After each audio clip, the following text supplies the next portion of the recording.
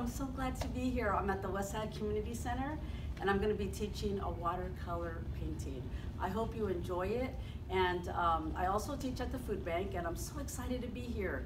So just follow along. So what we're going to do is we're going to watercolor this apple and I have watercolor paper, but you don't need watercolor paper. You could use any paper you have at home and maybe later you could get that.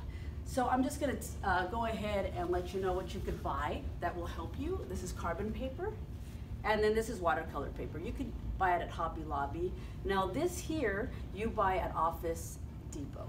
And what this is, is you put that carbon paper down and you just trace the painting that you want and it goes right onto this page here. But today we're not gonna do that, but it's good to know. Today we're just gonna go ahead and draw it. All right, so what you're gonna need, let me show you what you're gonna need first. So you need a pencil and your signing pen, and you need your brushes, probably three. Uh, there's different, or four, different sizes, kind of a bigger one, a small and a medium one. And you could, any size would be fine. If you just have one brush that you'd like, that's fine too. Then I have the watercolor pellets here.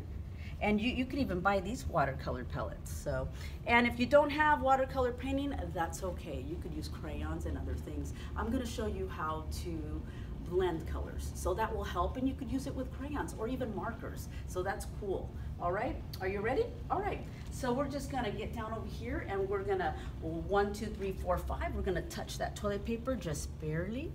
And then we're gonna go into our color, which let's do red today. So we'll do the red, nah, I don't really like that red one, two, three, and here. I like this red a lot, and not too much, just a little. And since it's hanging, we don't want to waterlog it because it's going to drip. So then we just come over here. Oh, we need to draw it. there you go. All right, so let's draw it. So here we see the um, apple, so we'll just go ahead and draw really quickly. Not too hard.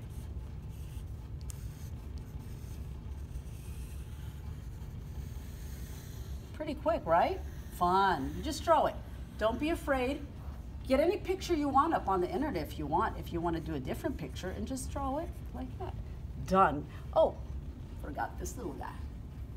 Here's our little ladybug.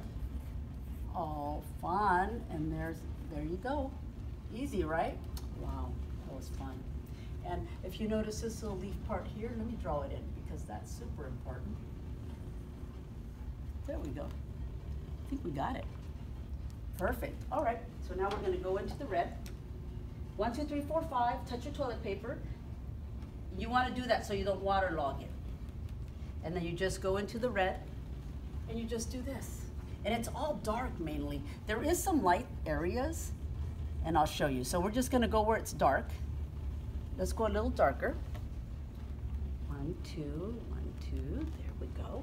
A little darker, so here we are. Now where it's light, we're gonna go ahead and borrow. This is how you borrow. One, two, three, four, five. You touch your toilet paper and you borrow it up. See it move? Look at how it lightens up. It lightens up, doesn't it? So now you have your dark and your light. Now it looks a lot better. And it might drip because it's, it's okay. So let's wash it. One, two, three, four, five. Let's see what other colors we got. Okay. Now touch my toilet paper, I'm gonna go into the yellow. And we're just gonna do this. Real simple. And we're just gonna take it all the way around like this. Stay away from the red, let it dry a few minutes. And I don't wanna let it dry because we'll be here all day. so there we go. And easy, right? And so, see these little uh, brown spots here? They're here and they're here. And now we're gonna do that. One, two, three, four, five. I'm gonna go into a light brown, not too much water. And then we're just gonna put it where we see it. We see it here, we see it here. Pretty simple there. There you go. It's really way easier than it looks, right? All right. Now we're gonna get a smaller brush because I'm gonna work with the leaf. The leaf is two colors, one, two, three, four, five. I'm gonna go ahead and go into the green and it's two colors. And so this is the dark, the, and I don't want it too watery because it'll drip. Now, if it was laying on a table, that would be okay. And so there we go. And there's your leaf, right? It looks like it's lighter here and darker on the top. So we'll try to make it a little darker up there. But again, we don't want it to drip, so there we go. All right. Okay, now, let's see, um, that's, okay. So now one, two, three, four, five, I'm gonna go into a darker black, kind of a greenish color, and for the stem, and that's simple. That's it, easy, right?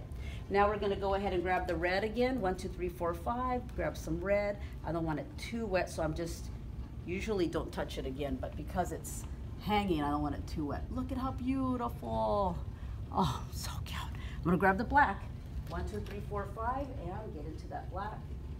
And you could use different, see, if you notice, I'm using just like two different brushes. So you could, you don't need to use. Now we're gonna let that red dry before we put those spots in because if I don't, it's gonna go everywhere. So we'll just go ahead and do it and show you what happens if you do it when it's wet. See how it kind of goes everywhere? Haha. so you want it to dry, that's all. And if you notice, there's a little darkness down here too. Good, and then the seats, same black. There you go. And you could even put that, it, this color here is like a yellow. I could have went ahead and borrowed it in. So we'll do that. One, two, three, four, five. I'm gonna go ahead and go into that. Oh, so fun. Oh, beautiful. Oh, I'm to put a little yellow up there. That's so cool. Wow. I think we did it. Let me just go over one little thing. One, two, three, four, five. And see how it's dripping? It wouldn't do that if it was on a table, right?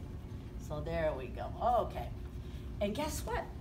The most important thing, sign it. All right. So you're going to sign your name. Artists sign different ways. You can sign any way you want. I sign with an E, that's my initial, and my last name's Olivas. And then I put the month and I put the year. Then I know when I did it. Yay. And guess why I signed there? Because you'll be able to see your signature when you frame it. Look, canvas. Is that awesome? You could get this canvas for $2.50 at Hobby Lobby with your coupon. Isn't that great? I love it. I love painting with you and I hope to see you soon. I'm gonna have another video with a pastel and we're gonna paint a beautiful orange. I hope you're ready.